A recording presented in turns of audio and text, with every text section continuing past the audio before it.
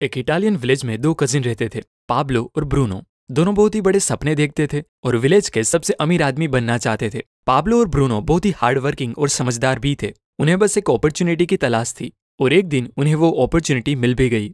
उस विलेज को दो लोगों की ज़रूरत थी, जो पास की रिवर से पानी भरकर ला सके और ये काम पाब्लो और ब्रूनो को दिया गया।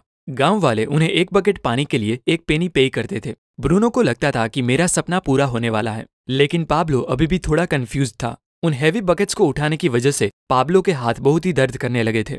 इसीलिए पाब्लो पानी भरने के अलग अलग तरीके सोचने लगा और उसे एक बहुत ही अच्छा आइडिया आया और उसने ब्रूनो से कहा, भाई, मेरे पास एक आइडिया है। ये हर रोज बकेट उठाने से अच्छा है। हम रिवर से अपने गाँव तक एक पाइपलाइन डाल दे, जिससे ये बकेट भरने की झंझट ही ना रहे। लेकिन ब्रूनो को इस आइडिया में कोई भी दिलचस्पी नहीं थी, क्योंकि उसे काम के इंस्टेंट पैसे जो मिलने लगे थे। इसीलिए उसने पाब्लो को इग्नोर किया। और ज़्यादा पैसे कमाने के लिए वो ज़्यादा बकेट भरने लगा। लेकिन पाब्लो ने अपने प्लान पर धीरे धीरे वर्क करना स्टार्ट कर दिया। वो आधे दिन बकेट्स भरता और बाकी के टाइम पर पाइपलाइन बनाने का काम करता। उसे पता था कि ये काम बहुत ही मुश्किल होगा और ऐसा करने से उसकी इनकम भी कुछ टाइम के लिए बहुत कम हो जाएगी। वो ये भी जानता था कि पाइपलाइन बनाने में कम से कम एक दो साल लग सकते हैं, लेकिन उसे अपने आइडिया पर पूरा भरोसा था। इसलिए उसने पाइपलाइन के लिए काम करना जारी रखा। कुछ महीने बाद ब्रूनो और गाँव वालों ने उस पर हंसना शुरू किया।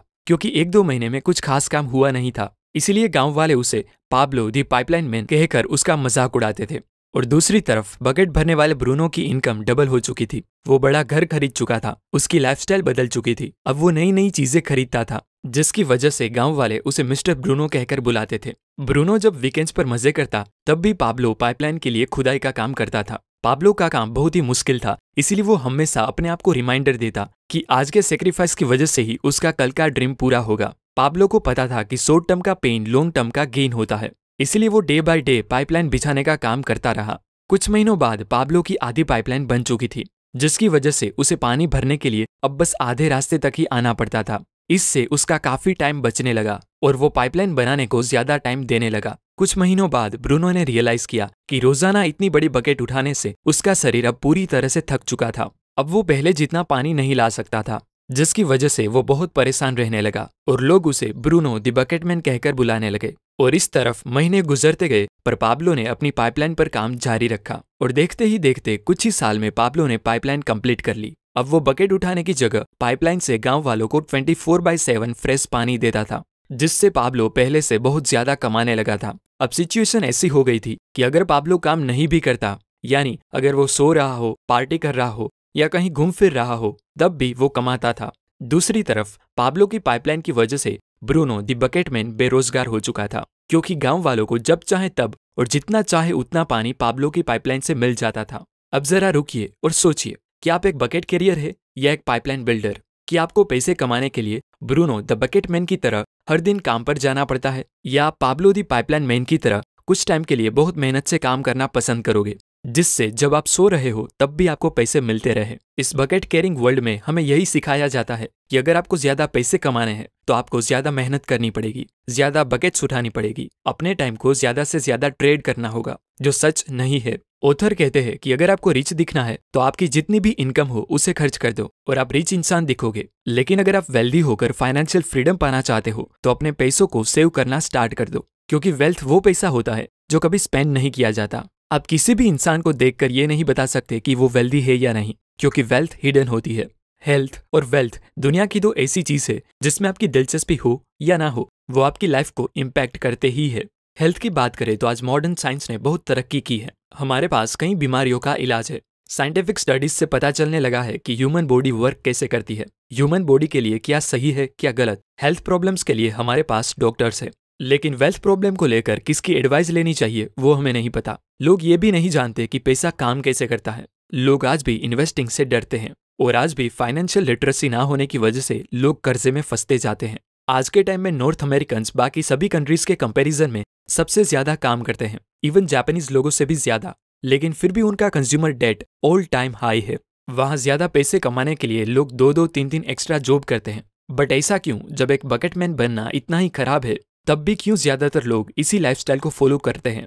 वेल well, उसका आंसर हमारी अपब्रिंगिंग में है क्योंकि सोसाइटी टीचर या पूरा एजुकेशन सिस्टम हमें सिर्फ़ यही सिखाता है कि आपको एक ब्रोनो द बकेटमैन कैसे बनना है एक सिक्योर जॉब कैसे लगानी है। लेकिन कोई भी आपको पाब्लो दी पाइपलाइन मैन की तरह सोचना नहीं सिखाता। आप सोच रहे होगे जिनकी हाई पेइंग जॉब होती है वो तो बाकियों से खुश रहते होगे। बट ऑथर कहते हैं कि ये सिक्योर और ड्रीम जॉब सिर्फ़ एक इल्यूजन है। आपकी सैलरी चाहे कितनी भी ज़्यादा क्यों ना हो। जब तक आपको पैसे कमाने के लिए अपना टाइम सेल करना पड़ेगा, तब तक आप इस बकेट कैरिंग वर्ल्ड में ही फंसे रहोगे। डेरिल स्ट्रॉबेरी एक बहुत ही सक्सेसफुल बेसबॉल प्लेयर थे, जो सिर्फ़ बेसबॉल खेलकर हर साल 5 मिलियन डॉलर तक कमाते थे। और अलग अलग ब्रांड डील्स और पर्सनल ब्रांड से जनरेट होने वाली इनकम मिलाकर, उन्होंने अपने फोर्टीथ बर्थडे से पहले ही 100 मिलियन डॉलर अर्न कर लिए थे। अब आप सोचेंगे कि इतने पैसे मिलने के बाद तो उन्हें कभी कोई फाइनेंशियल प्रॉब्लम नहीं आई होगी।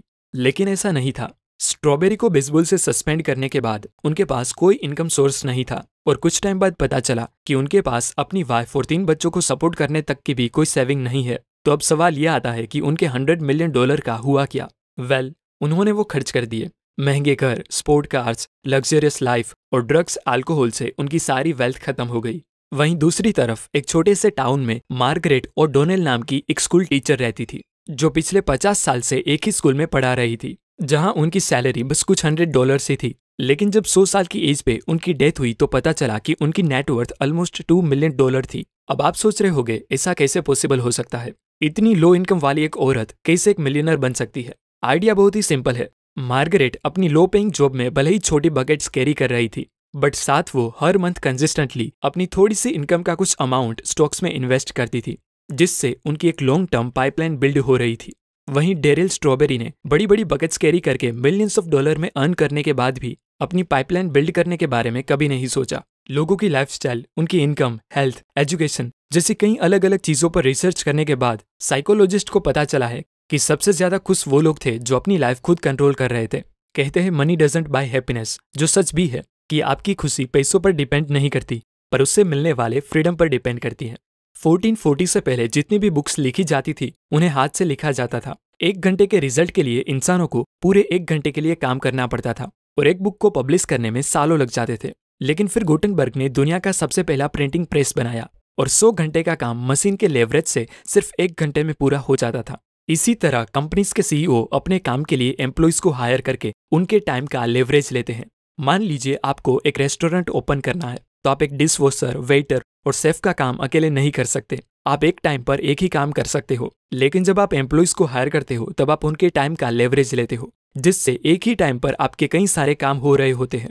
और आज हमारे पास लेवरेजिंग का सबसे बेस्ट टूल है इंटरनेट आज के टाइम पे पाइपलाइन बिल्ड करने के लिए आपको रिवर से पानी लाने की ज़रूरत नहीं है।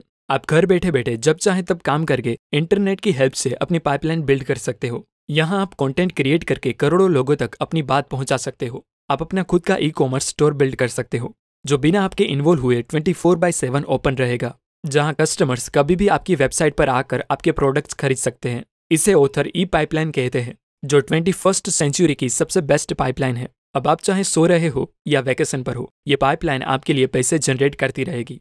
आप मानो या ना मानो, पर इंटरनेट ट्वेंटी फ़र्स्ट सेंचुरी की सबसे बेस्ट पाइपलाइन है। इसीलिए दोस्तों, ये सारी बुक समरीज को मैंने आपके लिए ऑडियो में कन्वर्ट कर दिया है। जो आप एप्पल पॉडकास्ट गूगल पॉडकास्ट और स्पॉटिफाई जैसे किसी भी पॉडकास्ट प्लेयर पर सुन सकते हो। आपको याद रखना है तो सिर्फ़ मेरा नाम।